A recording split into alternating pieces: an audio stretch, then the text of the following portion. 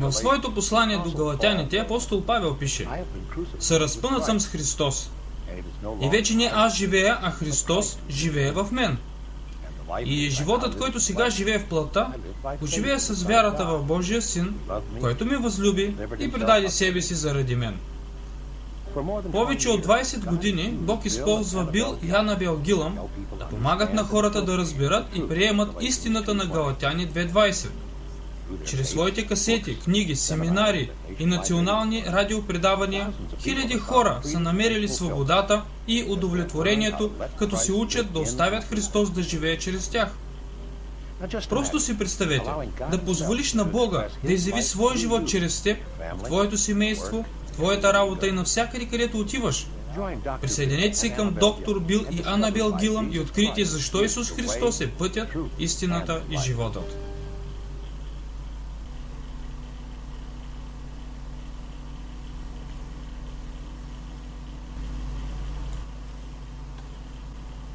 Скъпи святи души, сега наистина ти се доверяваме да получаваш чрез Анабел и мен.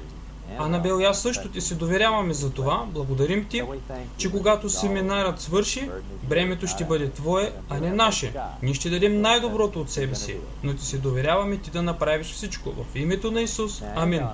Анабел и аз искаме да споделим с вас как изглеждат нашите уникални варианти на плата. Някои от вас ще се отъждествят с тях, а много от вас няма.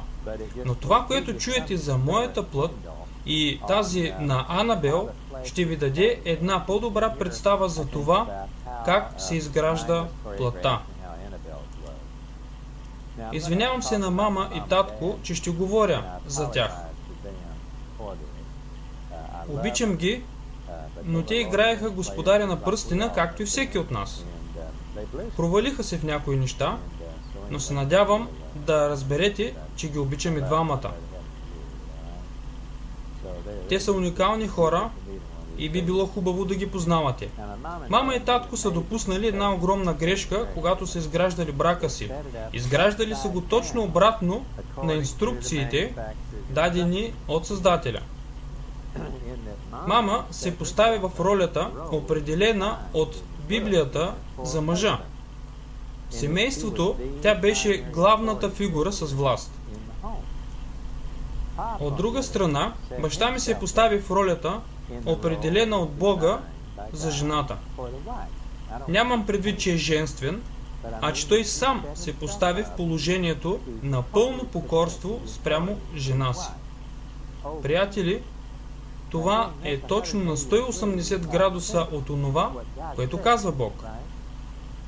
Ние имаме свободата да изградим такъв брак, но виждате ли, че ще бъде точно като човека, който скача от нашата сграда и пада на пътя.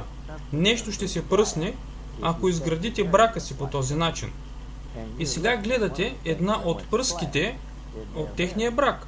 Защото когато се родих, бях в един малък мъжки земен костюм, дълъг 60 см. И като мъж, Бог ми е създал, освен с нуждата ми от любов, и с нуждата да се чувствам като мъж. С други думи, аз се нуждаех от това да приемам себе си и да обичам себе си като мъж. Какво имам предвид? Когато бях на 5 години, аз трябваше да мога да върша мъжките дръзки неща. Имах нужда да бъда убиецът на дракони пред 5 годишните жени. Имах нуждата да чувствам, че мога да хвърлям камък по-добре от тях. Да правя дръзки неща, като да държа змии и крастави жаби. Те ти умокрят ръката, изплъзват се и изчезват. Можеш дори и да обядваш без да си измиеш ръцете. Това е мъжът, нали? И ето ме тук, сега, последната възрастова група, и аз наистина все още не съм се променил много. Имам предвид не да хващам жаби, но живеейки с Анабел, общувайки с нея, имам нуждата да се чувствам, че тя ме вижда мъдър, че се гордее с мен, че се гордее с това, което правя, че тя мисли, че вземам добри решения. Момичета, аз се нуждая от това. Не разбирайте това като средство за получаване на стойност, а че имам нужда от това да имам нейното възхищение. Това е нужда, която имам. Това е все едно, че съм жаден, а тя има единствената чаша студена вода в града. Нуждае се от това. Тя да се отнася с мен по този начин. И така, като малко момче, се очаква да се науча как да общувам с другия пол, чрез общуването с майка ми. Тя е моята жена през годините на формирането ми. Тя ми възлага работа. И така, начинът по който трябва да стават нещата е предучилищната възраст се очаква да я помагам с стола. В първи клас на гимназията я виждам, че се мъчи да се качи на стълба, за да смени кружката за осветление в кухнята. Казвам ми, мамо, слиза от стълбата, ще паднеш. Качвам се и сменям кружката, а тя ме похвалва. Това ми харесва. Слизам от стълбата. В следващия клас на гимназията тя се мъчи да отвие капачката на един буркан, а аз си казвам, мамо, дай ми това, аз съм футболист. Имам мускули. Отварям го и го подавам, а тя се протяга, за да пипне мускула и казва, Бил, ти си толкова силен. Някой момиче ще те поиска за съпруг. Аз се надувам като пуяк. Това ми доставя удоволствие. Очаква се да гледам на себе си, като настигнал майка си, да я задмина, да навляза в своите собствени взаимоотношения с жените и да заживее щастливо до края на живота си. Това е начинът, по който би трябвало да се развиват нещата. Да се върнем сега в моето семейство, към взаимоотношенията с майка ми, когато бях малко момче. Не можеш да помогнеш на майка ми с буркана, нито с стола, тя се доверява само на себе си, самонадеяна и силна. Казвахме зад нея, че е силна като камък. Да стана по-силен от майка ми, това изглеждаше като да изкача връх Еверест. Сега разберете, че не мога да започна да приемам себе си като мъж, ако не съм станал по-силен от майка си. Това отново ни връща към нуждата от любов. Разбирате какво ви казвам, нали? Това е заместител на кой съм аз в Христос, след като се спася. Но аз не го зная. Затова се боря да разреша този проблем, играйки господаря на пръстена. Някои малки момчета са толкова оплашени от такава обстановка, че стават хомосексуални. С един по-силен тласък от страна на дявола, те се отказват въобще някога да бъдат мъже. Отказват се и стават хомосексуални. Това не се случи с мен, но ако се беше случило, аз щях да се опитвам да задоволя една съвършена, божествено добра нужда. По погрешен начин, чрез хомосексуални действия, като играе ролята на господаря на пръстена. Разбирате ли? И ако се спася, дяволът постоянно ще се опитва да ме завлече обратно в този начин на живот, за да задоволя нуждите си. Такива хора не са движени от нуждата си за секс, а от нуждата за любов. И всеки един от тях, когато съм съветвал, ми е казвал това. Те са движени от нуждата си от любов. И това е сърце съкрушаващо. Това не стана с мен. Вторият път, по който малкото момче може да поеме, е почти да се откаже да бъде истински мъж, мъжки мъж и да стане пасивен. В моето родно място казваме, ставам куче на онзи, който ми вземе на лов. Той просто се предава на всяка силна фигура, която влиза в живота му. И причината за това поведение е нуждата му от любов. Ако не се съгласиш с него, той не може да го понесе, защото го възприема като отхвърляне. Затова той ще се откаже от своя път и ще тръгне по твое, за да се опита да си купи любов от твоя магазин. Разбирате ли как става? Третият път, по който може да се поеме, с който аз мога да се отъждествя най-вече, е да се опитваш да си докажеш, че си мъжки мъж. А по мое време, мъжкият мъж беше кой?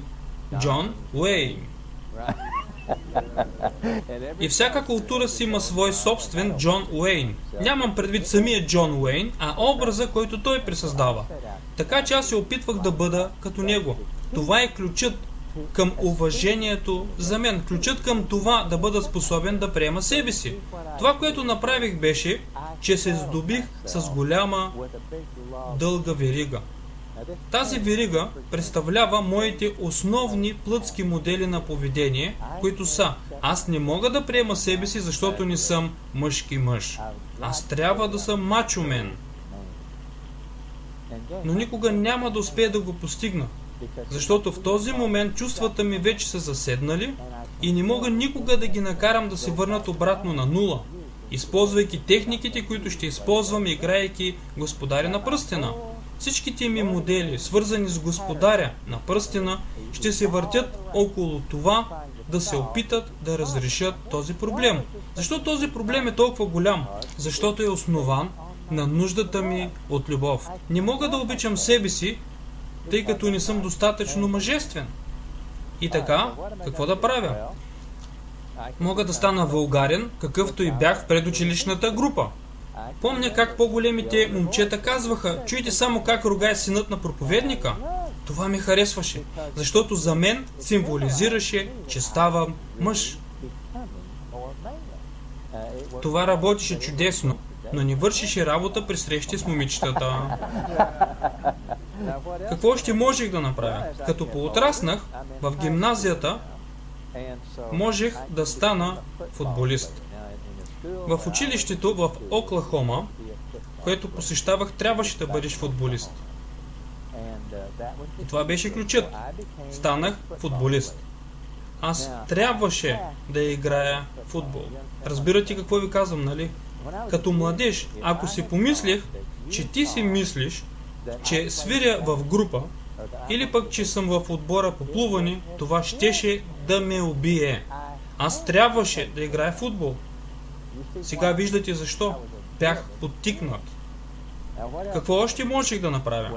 Можех да приластявам момичетата от гимназията, защото колкото по-добре го правех, толкова повече това ще ми издигне и ще ми разреши проблемите. Ще се чувствам повече мъж. Повече като мъжки мъж. Като ги покорявам. Не почакай малко. Спомни си какво учихме в сесията за плата. Малкото дете учи за себе си от реакцията на другите. В моя дом никога не е имало прегръдки, целувки, галевни думи. Майка ми ни позволяваше дори кучето да ми близне. На 15 години виждате, че устните на детето са девствени. Никога не са били докосвани от любяща душа. Бил, правил ли си секс в гимназията? Ме етапиш ли си с мен? Аз дори не можех да целувам. Чувствах се нежелан за целувки, недостоен за обич. Кой би искал да ме целуне? Аз не би го направил, ако съм на нейно място. Беше ми изключително трудно да премина тази бариера и да целуна момиче, което е начало на секса. Така че аз извършвах всичките си сексуални завоевания тук, в главата си. Развих една 8-лентова зелена магистрала за сексуални завоевания тук, в главата си. После бях спасен, а целият този буклук е моята уникална разновидност на какво? На плътта. Виждате ли това? Съществува една група от хора, на които имах да отмъщавам, защото те постоянно ми напомниха колко съм не мъжествен. Кои са тези хора? Самоуверените, агресивни, какво? Жени. Не злосторниците, а жените. Те ме връщаха назад към моите стари заседнали чувства, които са се в мен, откакто съм дете. И така, аз трябваше да разреша този проблем. Трябваше да направя нещо, да отстраня тези хора от живота си и да ги поставя под контрол. Мисля, че повечето мъже се опитват да ги приластят, но аз не мога да направя това. Току-що ви обясних защо. Но това, което аз правих, беше да ги унищожавам с езика си, с сарказъм, критикарство, унижава ги публично. Ако видя нова пъпка излязла на врата й, която е покрила с косата си, аз ще отмахна косата й, за да се вижда и ще измисля прякор, като например пъпчивка.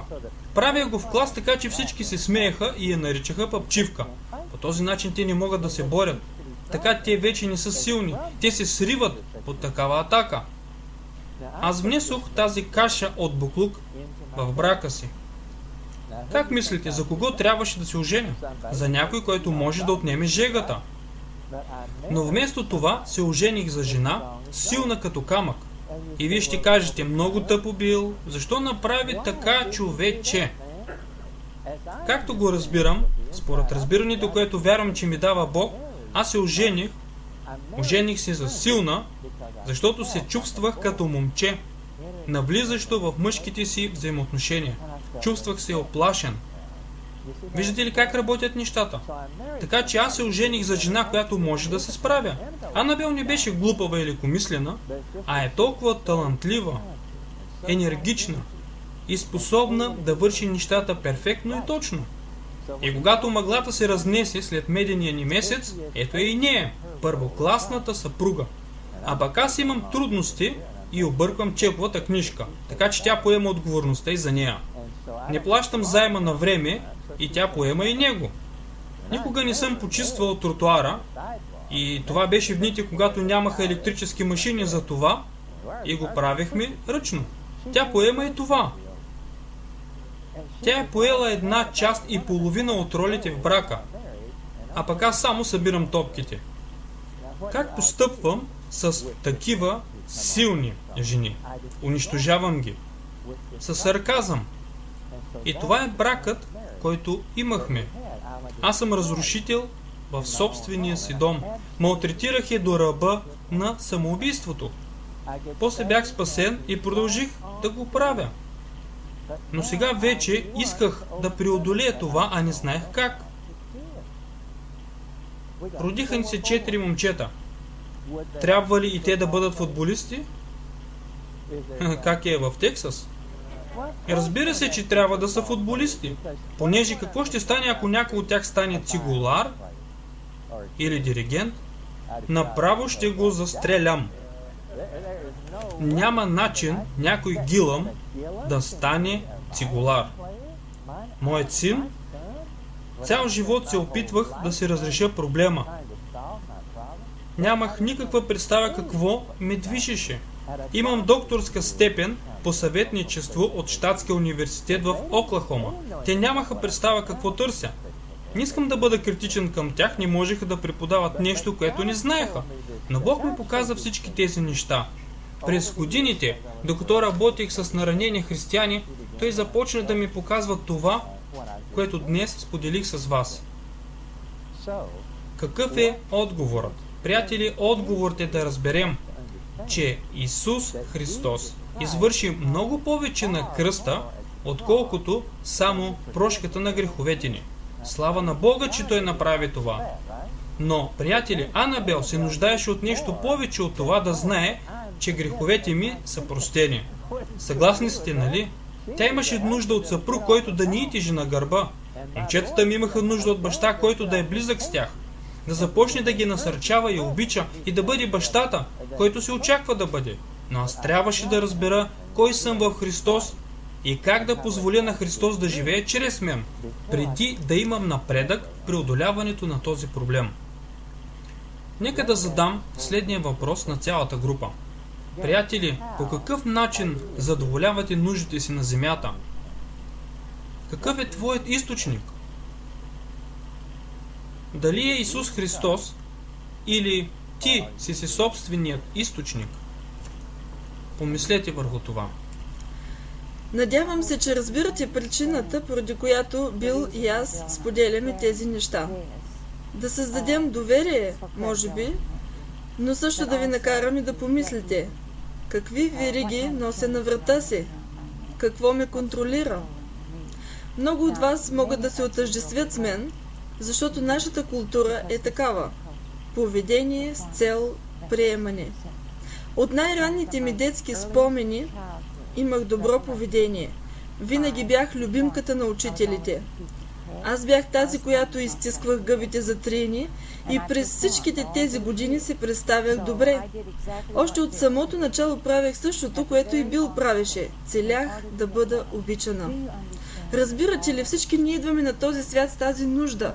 Всеки един от нас. И ние си изграждаме модели на поведение, за да посрещнем нуждите си.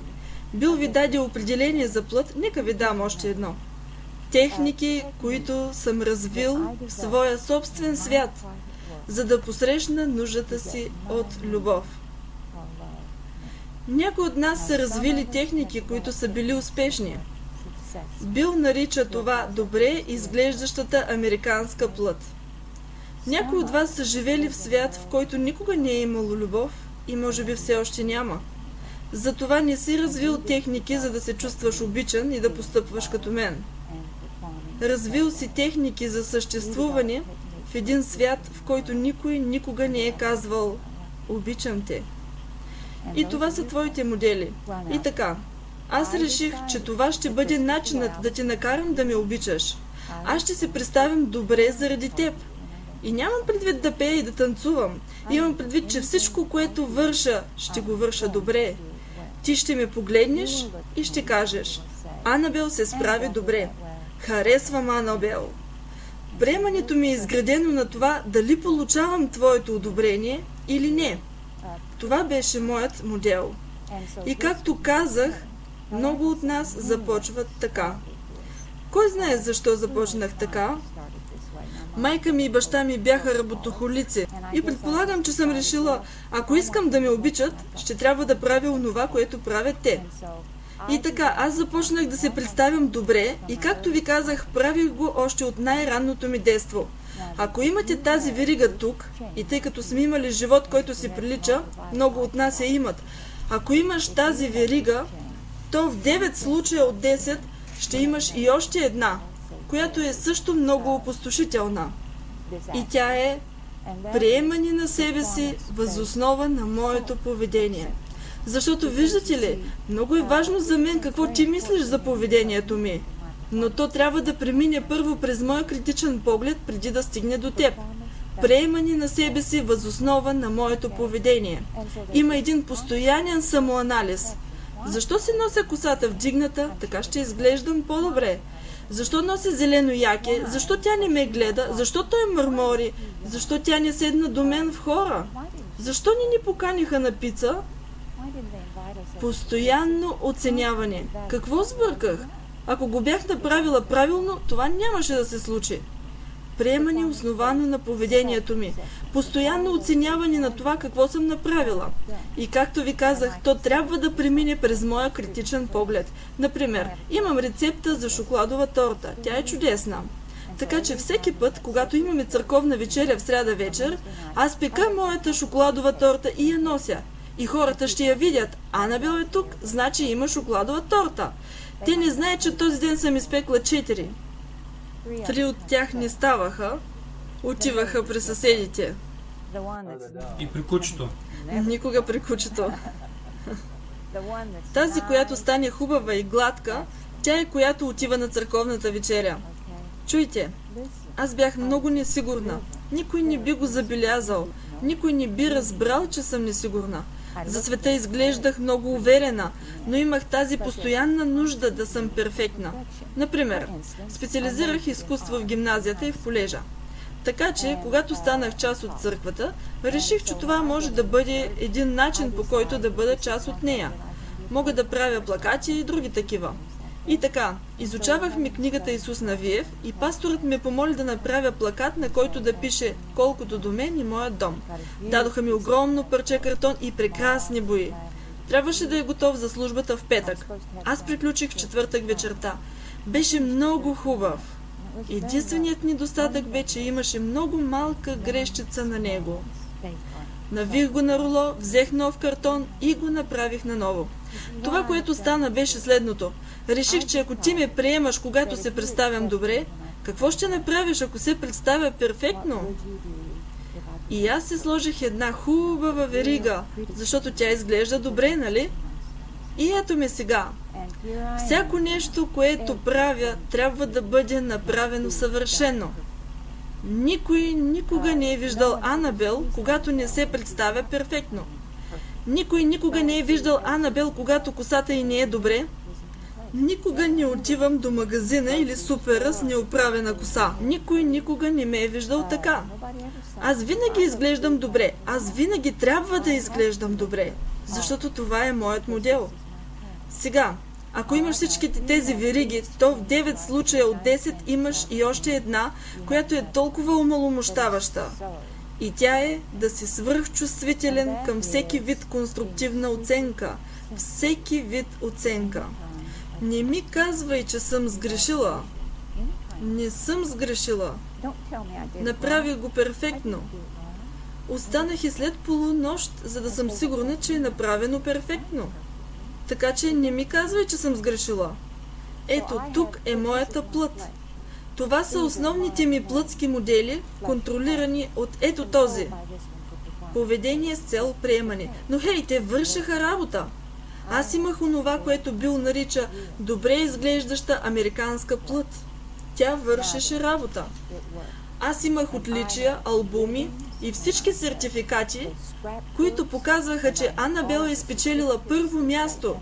И те са доказателства, че това вършеше работа. Единственият проблем беше, че бях една нещастна и несигурна личност. Бях контролирана личност, защото ако имаше празненство и аз не се чувствах на върха, не отивах там. По-добре да не ходя, отколкото да разруша образа, който съм се изградила. Това е което внесох в брака си.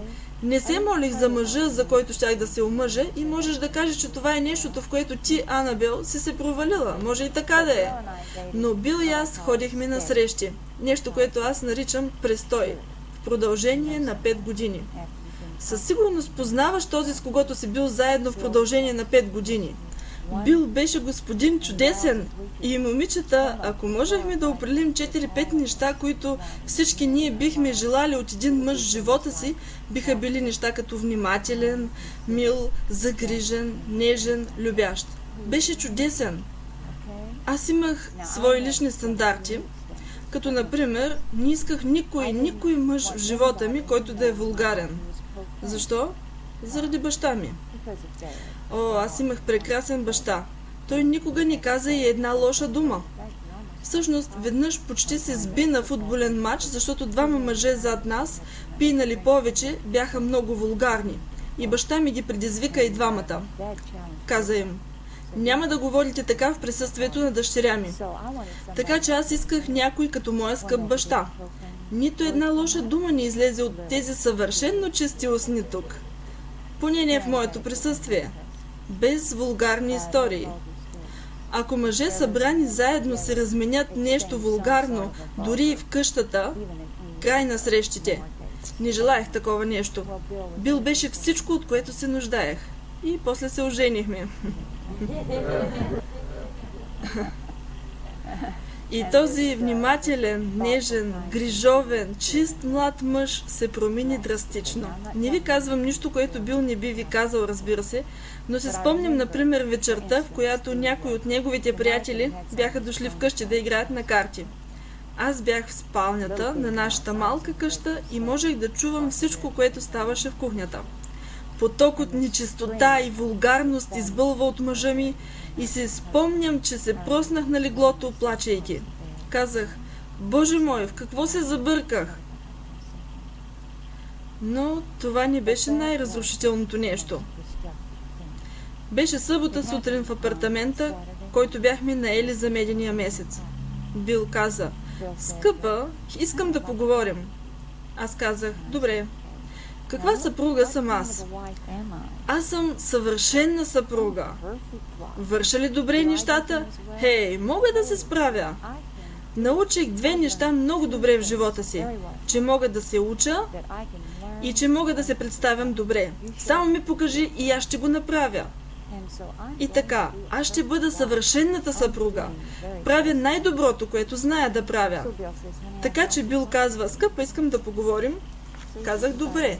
Той ме хвана за ръка, заведе ме в хола, седнахме на нашото канапе на цветя, което току-що бях обновила и изглеждаше прекрасно. Благодаря. И той ми каза нещо много нежно. Знаеш ли, скъпа, бих искал да се научиш да правиш поне едно нещо добре. Как се чувствам? О, да, добре съм. Ако Бил си мисли, че ще ме унищожи по начина, по който е унищожавал момичетата в гимназията, използвайки косата им и учителите, той греши. Аз съм много по-силна. Освен това, виждате ли, това е което ми дава живот. Похвалата, от която съм се научила да живея. Аз не произнасям любов като секс, не произнасям любов като цветя, душите ни са толкова различни. Аз произнасям любов като похвала. И ако не ме похвалиш, не означава, че не одобряваш моето поведение. Означава, че не обичаш мен. И така, това е нашият брак. Това се случва в нашия брак. Когато Бил откри, че не може да ме унищожи, като показва пропуските в поведението ми, той трябваше да ме унищожи. Но аз съм прекалено силна и ние взаимно се унищожавахме. Той реши, че ще използва друга тактика, която е много ефективна. Започна да ми показва неща от мен самата, които аз не можех да променя. Начинът по който изглеждам, моята личностност. Спомням се, че отивахме на танци на площада една вечер и той каза Не мога да си представя, че някой ще иска да танцува с теб, което сякаш отне блясъка на вечерта. Или отиваме на гости у някого и точно преди да отворим вратата и да влезем, той казва Скъпа, Почакай малко. Не се смей прекалено много тази вечер. Смееш се нервно. Караш хората да се чувстват неудобно. Или следващия път, когато влизаме, ми казва Почакай, скъпа, постарай се да говориш повече от мен. Много си тиха. Беше много ефективно. И така, тази жена, която беше изпълнител, която можеше да върши всичко правилно, както Бил каза, се промени драстично. Сега чуйте внимателно. Когато вашите техники за получаване на любов спрат да дават резултат, вие се развивате това, което наричаме механизми за справяне. Аз не съм обичана сега. Откъде знам? Понеже той не ме хвали. О, ние все още имахме хубав сексуален живот, но това не е начинът по който аз произнасям любов. Така аз развих механизъм за справяне, един много разрушителен механизъм за справяне – депресията. И когато обстоятелствата около мен не се променяха, депресията продължаваше от една седмица до две седмици, от две до три седмици, до тогава, докато времето, в което съм зле, стана повече от времето, в което съм добре. И тогава, когато обстоятелствата не се променяха, аз развих един много катастрофален модел – мисли за самоубийство. Исках да изляза от своя свят. Не можех да се спомня нищо хубаво да се е случило вчера и вероятно нищо хубаво няма да се случи и утре. Не мога да посрещна днешния ден. Този мъж ме убеждава в това. Така че аз исках да се махна. Единственият начин за един изпълнител да се махне е самоубийството, защото така не трябва да даваш обяснение на никого за лошото се представени. Това са моите вириги. Сега чуйте. Искам да кажа нещо тук, което е много тежко, така че слушайте внимателно. Не знаех, че Бил има тези вириги на врата си, когато се оженихме. Той не знаеше, че имам тези вириги на врата си. Бихме бягали един от друг като от чума. Но знаете ли какво се случва, когато се ожените? Започвате да подръпвате виригите на другия. Бил ще се протегне, и ще подръпне една от моите. Това боли. Така аз ще се протегна и ще дръпна една от неговите и това ще боли. Той ще ми отмъсти, като подръпне една от моите. И знаете ли какво правим? Чуйте всички, знаете ли какво правим? Приключваме в съда за развод. И казваме, имаме несходство в характерите. Ние сме напълно несъвместими. Въобще не е трябвало да се женим.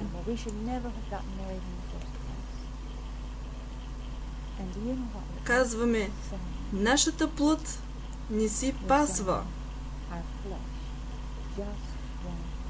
Но, скъпи мои братя и сестри, Бог никога не е възнамерявал плътта ни да си пасва. Той иска да се разочароваме толкова много от опитите си, иска да ни стане напълно ясно, че не можем да се справим. Да разберем, че Христос е всичко. Аз, силният изпълнител, трябваше да стигна до това разбиране. Спомням се много добре вечерта, когато осъзнах това. Бях в леглото, готова за следващата голяма порция депресия. Молех се, не просто плачех, а ридаех. Говорих на Бога. Казах му, Боже, не разбирам защо това се случва в моя брак. Толкова е далеч от мечтите ми и от купнежа ми и от това, което знам, че ти си възнамерявал да бъде. Боже, Децата ми вече тръгнаха по пътя, по който исках да тръгнат и Господи, вече съм изморена. Изтощена съм. Давах, давах, давах и не мисля, че мога да дам повече. Тази вечер казах думи, които никога през целия си живот не съм казвала. Казах, Боже, аз не мога. За мен да кажа не мога беше абсурдно, но го казах, Боже, аз не мога. Ако нещо ще става от този брак, ще трябва ти да го направиш. Аз не мога. И тази вечер Бог ми каза нещо. Нямам предвид, че дойде глас от небето, а имам предвид мисъл, просто мисъл, която влезе в моето мислене, която промени напълно моя живот. Казах, Боже, аз не мога. Ще трябва ти да го направиш. А той каза, благодаря ти, Анабел. Аз ще направя всичко това вместо теб. За мен. Тази вечер започнах да уча прекрасната истина на Галатяни 2.20. Хей, бях водила уроци в неделното училище по него. Беше един от стиховете, които знаех на изуст. Съразпънат съм с Христос и вече не аз живея, а Христос живее в мен. Аз просто не живеех според това. Но тази вечер приех прекрасната истина на Галатяни 2.20. Съразпъната съм с Христос и не самата аз живея, а Христос живее в мен. И животът, който живея всеки ден сега, като съпруга на Бил Гилъм, като майка на Прес, Мейс, Уил и Уен, дали пека бананов пай, или разглеждам нещо, или чистя с прахосмокачка, или почувствам печката, чрез вяра стигнах до чудесното разбиране, че Христос е моят живот.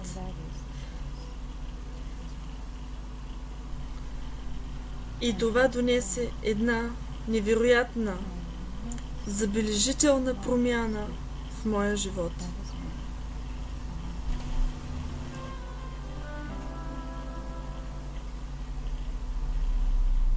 Не е ли това една чудесна история?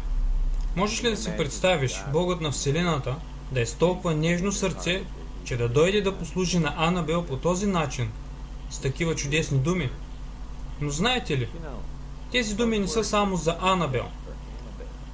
Бог е толкова личен. Тези думи са за всеки един от нас. За мен, за теб. И искам да те насърча да направиш нещо, което лично за мен е означавало много. Да повторим думите, които Бог каза на Анабел. Аз ще направя всичко това вместо теб, Анабел. Но ще ги направим лични. Ти ще поставиш своето име там вместо това на Анабел и ще наблегнем на различни думи всеки път, когато го казваме.